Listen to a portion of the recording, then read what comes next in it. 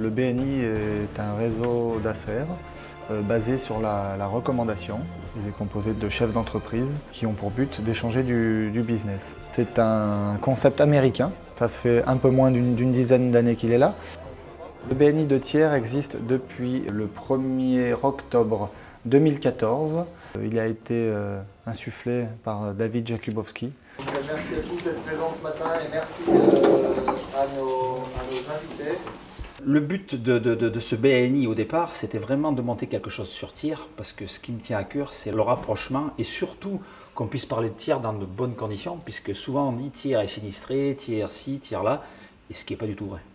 Donc on voulait mettre en avant la ville de Thiers, avec toutes ces associations, toutes ces entreprises qui sont florissantes, tous ces gens qui sont intéressants, qui sont impliqués dans notre vie de tous les jours, et à travers ça, euh, de s'ouvrir à la population tiernoise, et on s'aperçoit qu'au jour d'aujourd'hui, la population tiernoise ne s'arrête pas qu'à Thiers. Le bassin tiernois s'est agrandi et s'est ouvert sur, sur, sur, plein de choses. Et aujourd'hui, ben, je suis fier que les tiernois s'ouvrent aux, aux, villes extérieures et puis qu'ils puissent travailler ensemble. On l'a vu par rapport à son voisin Châteauguay. On s'aperçoit que les chefs d'entreprise n'arrivent pas vraiment euh, à se créer un réseau efficace. Euh, la méthodologie BNI nous sert à ça, à vraiment travailler notre réseau et à développer des relations de confiance avec nos co-membres pour nous apporter encore plus de business.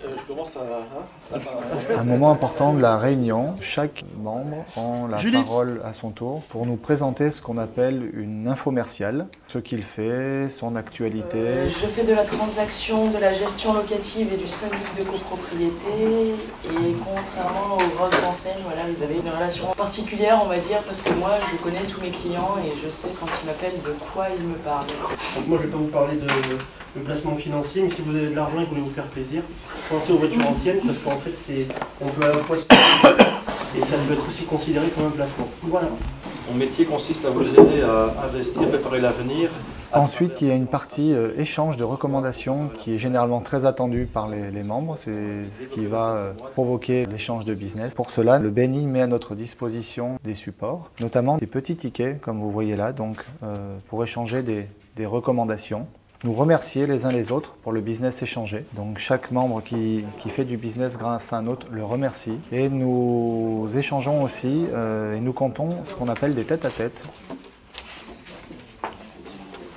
Alors, merci pour le business à Aurélie Guédès. Euh, une reco pour euh, Marc Roche. Et un merci pour le business à Patrice. Merci à Lou. Merci à Jérôme de Besport. Merci à Julie. Merci à Nicolas. Merci à Christine. Jean-Michel. Denis.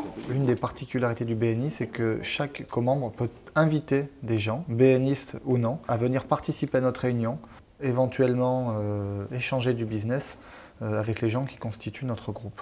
Je suis le co-gérant de la société Cubagym avec euh, ma femme Chemin. J'ai créé cette entreprise en 2014 et euh, je suis employé municipal. Euh, le BNI a vraiment été à tiers un accélérateur de business qui a rapidement attiré les convoitises euh, en Auvergne et, en France en se positionnant dans les, dans les premiers groupes euh, dès le départ avec un échange de, de business de plus de 3 millions d'euros sur la première année qui paraît quand même euh, énorme à un peu plus de 30 chefs d'entreprise. si vous faites la moyenne, je vous laisse calculer. Tout le monde y a, y a trouvé son compte. Alors aujourd'hui, 41 bancs de recommandations, 8 tête à tête et 57 merci pour le business pour un total de 123 000 euros.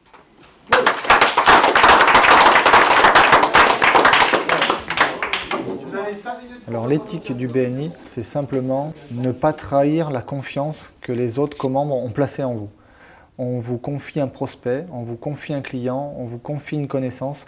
Vous devez être très professionnel et irréprochable. Vous devez l'être avec la totalité de vos clients, mais quand c'est envoyé par un de vos co-membres, vous devez être vraiment irréprochable, c'est le mot d'ordre. La devise du, groupe est qui donne reçoit.